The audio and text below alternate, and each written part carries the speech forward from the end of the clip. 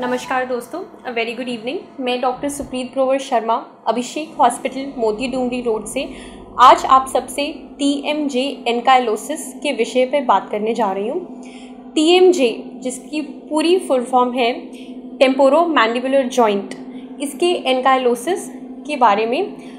आज आपको बताऊँगी टी एम जे हमारी बॉडी के किसी भी नॉर्मल जॉइंट की तरह होता है, जो हमारे निचले जबड़े का मूवमेंट परमिट करता है।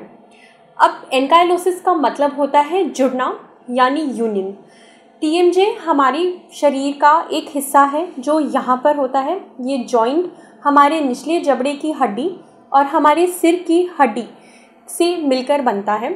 ये जॉइंट हमारे जबड़े का खुलना हमारे जबड़े का साइड टू साइड मूव होना परमिट करता है। इस जॉइंट के एनकाइलोस हो जाने पे, यानी जुड़ जाने पे, जो कि दो कारणों से हो सकता है। या तो इन हमारी सिर की हड्डी या हमारे निचले जबड़े की हड्डी में कोई बोनी यूनियन हो जाए, या किसी फाइब्रस जो कि मसल या अडेरेंसेस की वजह से अडेशंस बन जाए, हो सकता है। बोनी यूनियन जो होता है, वो मोस्ट कॉमनली जैसे बच्चों में पाया जाता है, जैसे बच्चे गिरते हैं या किसी और प्रकार का ट्रॉमा होता है, जो मेनली यहाँ पर गिरने से होता है, जिसकी वजह से डायरेक्ट इम्पैक्ट जिसको हम मैकेनिकली काउंटर लूप फिनोमिनन बोलते हैं, वो यहाँ पर पड़ता है। यहाँ पर बच्चे जब बढ़ रहे होते हैं ग्रोइंग एज में, उनका जो काटलेज होता है, बहुत हल्का होता है जो यहाँ पे निचले जबड़े की हड्डी होती है, बहुत सॉफ्ट होती है। जिसकी वजह से यहाँ पे खून इकट्ठा होने के बाद जो हड्डी को बनाने वाले सेल्स होते हैं, वो एक्ट करते हैं और यहाँ पर एक हड्डी का जोड़ बना देते हैं, जो हमारे जबड़े की हड्डी और सिर की हड्डी को जोड़कर एक बोनी यूनियन करा देते हैं। अब इस बोनी यूनियन से क्या होता है? इस बोनी यूनियन से आपके निचले जबड़े के काम करने की कैपेबिलिटी अफेक्ट होती है। आपका अगर जॉइंट यहाँ पर ब्लॉक हो जाए तो आपको मुँह खोलने में दिक्कत होगी। मुँह खोलने में दिक्कत होगी, साथ में अगर एक तरीके का, एक साइड का जॉइंट ब्लॉक्ड है तो उस साइड की ग्रोथ अफेक्ट होगी, जिससे आपके बच्चे को या किसी बड़े में भी ये चीज़ पाई जा सकती है, जो कि मेनली इन्फेक्शंस की वजह से हो सकती है। तो हम बात कर रहे थे, अगर बच्चों में ये चीज़ हो तो क्या होता है? बच्चों की ग्रोइंग एज के साथ अगर एक साइड की हड्डी लेट से लेफ़्ट साइड की हड्डी अफेक्ट होती है तो इस साइड का जबड़ा नॉर्मल तरीके से ग्रो करना कम हो जाता है और ऑपोजिट साइड का जबड़ा सेम अपनी नॉर्मल ग्रोथ के साथ होता रहता है। तो क्या होता है? एक चीज़ जिसको हम बोलते हैं फेशियल एसिमेट्री वो होने लग जाती है, जिससे आपका मुँह टेढ़ा अपीयर करने लग जाता है।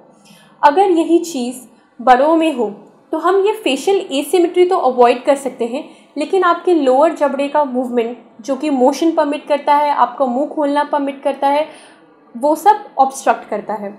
इसीलिए इस चीज़ को ट्रीट करना बहुत बहुत ज़रूरी है। और एक चीज़ मैं बताना चाहूँगी यहाँ पर, अगर बच्चों में आपके दोनों जॉइंट्स अफेक्टेड हों तो उनको सांस लेने में भी तकलीफ़ पाई जा सकती है, जिसको हम ऑब्स्ट्रक्टिव स्लीप अपनिया बोलते हैं, जिसकी वजह से उनके सांस लेने की जो नली होती है ये छोटा जबड़ा होने के कारण हम आपकी जो ज़ुबान होती है वो पीछे चली जाती है। इसलिए उनको सांस लेने में तकलीफ़ होने लग जाती है, इसलिए ये प्रोसीजर आपके लिए लाइफ सेविंग बन सकता है। और इस बारे में बात करते हुए मैं आपको बताऊँगी कि इसको हम कैसे डायग्नोज करते हैं। इस पेशेंट इन पेशेंट्स को आप पहले क्लिनिकली एग्जामिन करके बता सकते हैं। फिर आपकी अपीयरेंस से ही कि इनको टी एम एनकाइलोसिस है या नहीं। उसके बाद हम अदर रेडियोलॉजिकल इंटरवेंशंस जैसे सीटी स्कैन या ऑर्थोपैंटोनोमोग्राम के थ्रू डायग्नोस करते हैं, जो कि एक ओ पी एक्सरे होता है। वहाँ पर अगर आपकी हड्डी का यूनियन है, वो डायग्नोस करके पाया जाता है। उसके बाद क्या करते हैं, हम बच्चे को या बड़ों को जिस भी एज में पाया जाए, इसको ट्रीट करने के लिए एक ऑपरेशन ज़रूरी होता है। इस ऑपरेशन में आपकी हड्डी जो आपके लोअर जबड़े और आपके सिर की हड्डी के बीच में एक जो हड्डी बन गई है, उसको निकाला जाता है। एक इतना सफिशिएंट गैप बनाया जाता है कि ये हड्डी दोबारा वापस में ना जुड़ सके।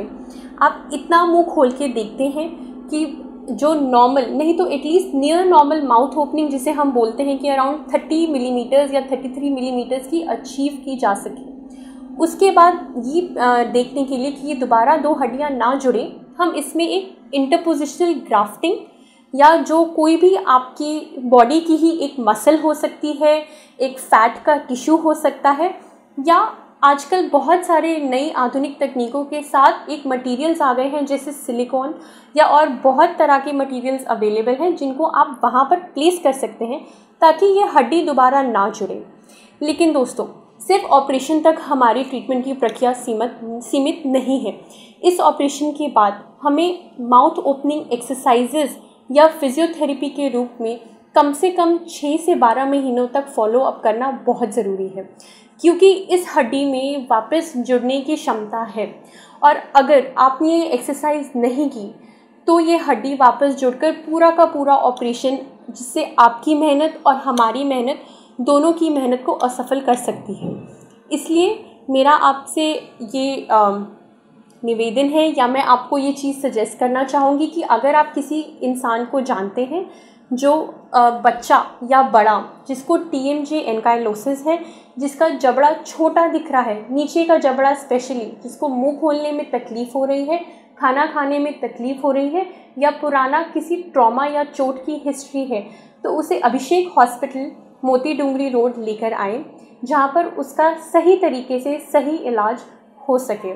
धन्यवाद। यदि आप किसी ऐसे मरीज़ को, मरीज़ को जानते हैं, जिसे टी एम जे एनकाइलोसिस है, जैसे जिसका छोटा जबड़ा है, जिसको खाने में तकलीफ़ हो, मुँह खोलने में तकलीफ़ हो तो उसे अभिषेक हॉस्पिटल मोती डूंगरी रोड पर रेफ़र करें, जहाँ पे adequate plastic surgeons and maxillofacial surgeons के द्वारा उनका इलाज पॉसिबल है। आप हमें nine eight two nine zero one three five six seven या zero one four one two six two five double one zero पे कॉन्टैक्ट करें। Thank you